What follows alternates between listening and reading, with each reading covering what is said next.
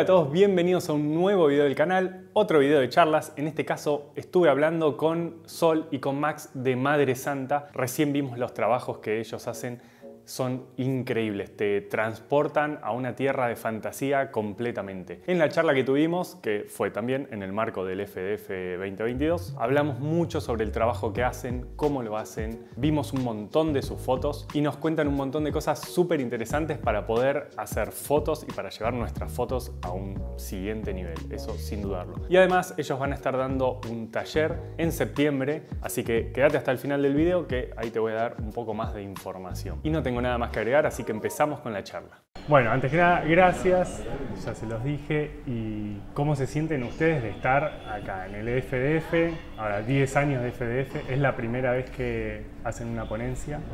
Eh, no es la primera vez que hacemos una ponencia, sí es la primera vez que estamos en el FDF, tanto de asistentes como de, en este caso, de disertantes. Eh, anteriormente tuvimos otras ponencias, pero venimos hablando que, capaz esto fue diferente. Nos encontramos con muchos colegas de mucha, o sea, muy amplio, de, mm. muy amplia cobertura de distintos em, servicios que se brindan.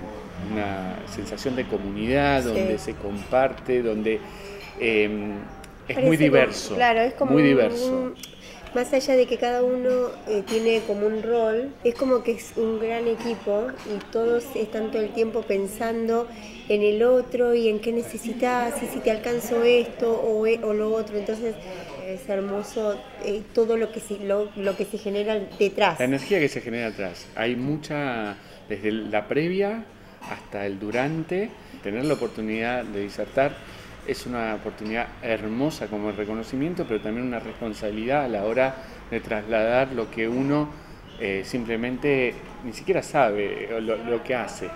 Trasladar lo que es, hace y contar lo que hace. Y eso es muy lindo.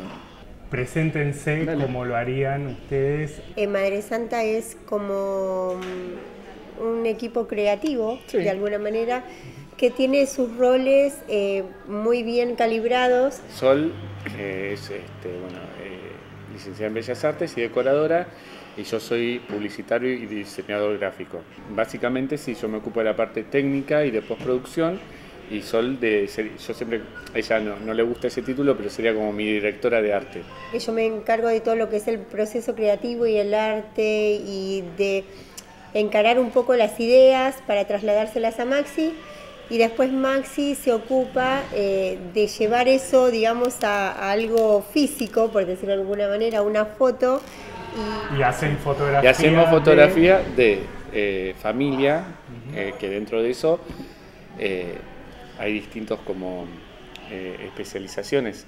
Nosotros hacemos desde maternidad, recién nacido, infancia, que infancia incluye como hay como distintos segmentos, pero nosotros es toda la infancia, o sea, nosotros entendemos después de recién nacido es hasta lo que sería casi adolescente, que sería capaz 12, 13 años. Pero hasta esas edades eh, hacemos, hacemos retrato, eh, retrato fainar, y lo que tenemos como diferencial dentro de capaz el, producto que ofrecemos es eh, desarrollos también eh, capaz una mezcla, una sinergia entre la fotografía y lo editorial de la publicidad, donde se incluyen recursos como la fotocomposición, eh, la ilustración digital con pintura digital, em, elementos como que estuvimos charlando de Cinemagraph, o sea, hay una convivencia de distintos recursos creativos, también desde lo analógico de Sole a lo digital. O sea que es una combinación, siempre decimos lo mejor del mundo analógico, lo mejor del mundo Es como una miscelánea, tratamos de, de, de, lo que cada uno se siente cómodo. Yo, por ejemplo, me siento mucho más cómoda en la parte del arte haciendo cosas de manualidades. Eh, Props propios. Claro, fondos, fondos, fondos. Eh, también tienen, además de todo lo que hacen, hacen el fondo. Sí, hacen el fondo. sí, hacemos los fondos. Sí, no solo el fondo, solo hace vestuario, hace o sea, accesorios. Eh, eh, ella es maquilladora también, entonces hace el maquillaje, o sea, nuestro equipo ella es la maquilladora y la estilista también. Y cuando eh, empiezan, así que entre ustedes solucionan tantos puntos, ¿En qué momento dicen, bueno, hagamos todo, todo? Se fue naturalizando a partir de, como te digo, de nuestra formación eh, previa, más allá que hace 24 años estamos juntos, es mucho tiempo, fue conocernos también desde el lugar del trabajo de manera diferente y calibrar estos roles hasta dónde hace uno o se siente cómodo haciendo algo y hasta dónde el otro. Y en realidad fue la combinación de lo que siempre nos gustó hacer a cada uno y llegando a un producto que los dos estuviéramos de acuerdo. Combinando también de alguna manera la parte estética, yo vengo de siempre un estilo muy barroco, desde ya sea de la iluminación hasta el, resultado final. Eh, y Sol viene capaz de un estilo similar, más vintage, más romántico, de su estilo de decoración y fue, es un poco la combinación de esos dos elementos. Viste, cuando vos querés llevar un proyecto a cabo, eh, que parte de una idea, muchas veces te encontrás con que a lo mejor cuando lo vas a materializar, de alguna manera no tenés quizás los recursos para la maquilladora, el vestuarista, el que te hace los fondos y todo lo más. Entonces, muchas veces los, los proyectos los encaramos con tiempo para que yo principalmente pueda ocuparme con tiempo de resolver las cosas, ¿no? Pero no necesariamente porque no tengamos algo lo dejamos de hacer, sino que buscamos la manera. Que se fue dando naturalmente por nosotros, porque también, sinceramente, eh, nosotros no teníamos todos los recursos, somos una familia grande, vivimos solo de esto, y en muchos casos los proyectos personales también, al principio, o sea, uno pero no íbamos a dejar de hacerlo, entonces resolver con lo que tenemos al alcance de la mano. Inclusive tratamos en los talleres, en el taller que dimos acá también, principalmente pensando en este caso mucha gente del interior, de lugares que capaz no tienen acceso ni económico ni siquiera o, humano tal claro. Mm, entonces eh, buscar las maneras de que ellos eh, tengan herramientas y recursos que capaz piensan no tengo que tener todo esto tengo que hacer todo esto para lograrlo y que se dieran cuenta que no que, que, que, pueden lograrlo igual eh, sacarlos de esa de la zona de confort, claro, y ver más allá. Entonces trabajamos con un LED que se compra en una ferretería, eh, fondos hechos por propios y a bajo costo, o sea, con una impresora común de cualquier lado. Mostrar cómo se puede desarrollar, el, vestuario eran manteles viejos, tenidos, de una abuela, eh, mostrar cómo Exactamente. Toda esa cocina de la Totalmente. Porque en realidad por ahí vos ves la foto terminada y te imaginas que a lo mejor está en un estudio súper eh, enorme, eh, con vestuario comprado o, alquilado, lo que fuera. Y en realidad todo lo que yo usé, eh, cualquier persona lo tiene al alcance de la mano. Entonces eso es lo importante, que ellos, que los chicos en este caso se llevaran esas ganas de llegar a su casa y agarrar cualquier cosa y ponerse a hacer, digamos, una producción de fotos, porque nosotros siempre eh, también apuntamos a que más allá de todo el contexto, la, que la imagen que ellos quieran mostrar tenga mucho de uno. La técnica se desarrolla y viene con el tiempo y es importante, pero lo, lo que te empieza primero a identificarte a vos como fotógrafo es empezar a diferenciarte por el contenido que generas. Desarrollar primero el, concepto y el proceso creativo. Y después resolver la parte creativa con lo que tenemos. Y eso lo, importante, lo importante era eh, tener el concepto claro y después a partir de ahí puede haber, como siempre en la vida, variantes que te hacen modificar en el momento algo o que lo ves calcular totalmente y, no, y no resulta como vos pensabas. De hecho, eh, muchas veces hemos, hemos pensado algo y cuando lo, lo veíamos en toma a lo mejor no nos gustaba tanto y en el momento tratábamos de tener como un backup de cosas, de alternativas como para en realidad vos tenés una base, después improvisás, pero improvisás sobre una base realizada. Tengo un flash, puedo, no sé, tengo un rebote, puedo buscarle esas alternativas, que por eso ahí sí se empieza a usar recursos de técnica, pero lo importante es saber qué quiero narrar para lograr lo que quiero lograr. Eh, las devoluciones que nos dieron hermosas, una de las cosas que decían era eso, que, que se iban sabiendo que podían lograr algo que capaz no pensaban que podían lograrlo con poco. Ese consejo para los que están empezando, que por ahí hay mucha gente que busca contenido en internet como para empezar en el mundo de la fotografía y que de golpe bueno, quiere resolver todo ya, quiere hacer todo rápido.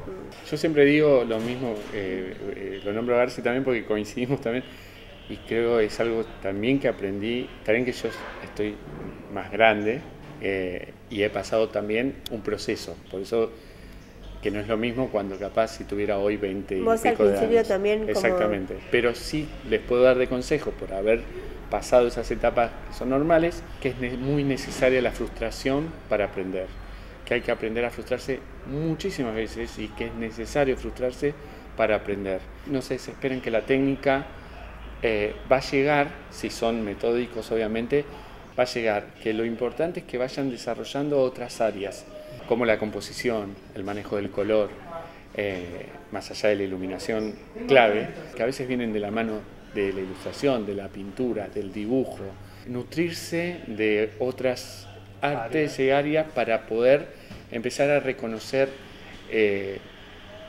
otra sensibilidad en lo que quieren comunicar. Yo creo que también tiene mucho que ver con esto de que sí vivimos a mil por hora, por decirlo de alguna manera, entonces yo creo que eso es como un círculo vicioso de que no solamente eso es en el día a día, sino que también en la vida, en, los procesos de aprendizaje, en, absolutamente todo. Hay personas que necesitan mucho más tiempo para el mismo contenido y hay otros que lo aprenden rapidísimo. Pero el tema es después poder aplicarlos, porque no todos lo aplicamos de la misma manera. Entonces, eh, yo creo que vivimos ya de por sí en un mundo agitado, revolucionado y muy apurado, entonces creo que eso también contagia de alguna manera los procesos de aprendizaje. Eh, y en muchos casos también lo que es redes empuja. en muchos casos para el lado positivo, pero también el lado negativo está ahí. No hay que desesperarse, no hay que subir cosas por subir, sí practicar muchísimo.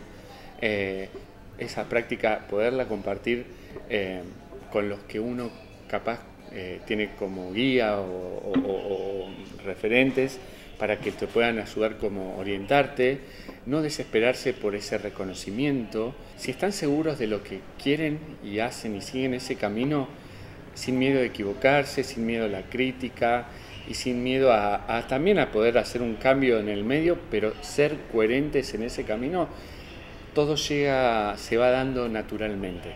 Eh, y, por, y, no tiene que gustarle a todos, pero está, y, eh, eh, va a ir bien, enfocarse. Y saber disfrutar ese momento, ese proceso. Creo que es como parte de lo que hace que uno se encuentre con uno mismo, con su foto, con su estilo. A veces uno brinda un ejercicio con las mismas herramientas, los mismos recursos, y es totalmente variado los resultados que se dan. A veces tenemos ese toque a ojo que cada uno le da, a veces lo aprende a reconocer y a veces no. Algún hobby o pasión, pero que esté por fuera de la foto. Bueno, que no, sea del ámbito laboral, por lo menos. Em, yo reciclo muebles. Yo, eh, hago bonsai hace 15 años. Me aprendí con un japonés, eh, Hideo Sugimoto, eh, mi primer maestro, y y tiene que ver más, yo soy más de la época de Karate Kid y ahora volvió, ¿no? Pero en ese momento me gustaba lo, artístico, de, pero del arte vivo, por decirlo. ¿Comida favorita? Comida favorita. Eh, lo, lo, mío es eh, las pastas. Sí, coincido. Por algo estoy casado con esta mujer. Bueno, listo, se pone a comer con Antonio, que también dijo fideo, sí. carbonara, no sé qué. Sí, sí, sí, no, pastas, pastas. Se van a comer unas pastas. Sí, bueno, muchas gracias. gracias por, por este momento, por charlar un rato. Unos genios total. Muchísimas gracias Sol, muchísimas gracias Max. La pasé muy bien hablando con ustedes. Son dos personas de oro. Ya desde el hola te das cuenta que son de ese tipo de personas súper bondadosas, súper generosas y que encima somos colegas. Bien, lo que quería contarles es que ellos van a estar dando un taller el día 10 de septiembre en Madrid. Sí, en Madrid. De la mano de Antonio Garci. Van a estar armando un taller de todo esto que hacen, así que sin duda va a ser algo espectacular. Quería decirles esto porque no hay nada más lindo, más gratificante que ayudarnos entre colegas, apoyar nuestro trabajo y darnos una mano en todo lo que podamos. Así que bueno, no tengo nada más que agregar. Muchísimas gracias en serio por ver el video hasta el final. Hasta acá llegamos por hoy. Si les gustó, obviamente suscríbanse al canal, comenten, firmen, consulten. Importantísimo, hagan backups. Siempre lo voy a estar diciendo, siempre lo voy a seguir diciendo. Hay que hacer backups de todo el trabajo que tengamos. Así que bueno, no tengo nada más que agregar. Nos vemos en el próximo video. Chao.